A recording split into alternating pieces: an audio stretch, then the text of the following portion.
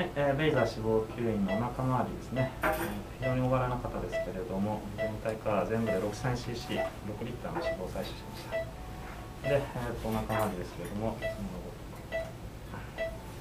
の筋肉ペラペラのこてですね。はい終了です。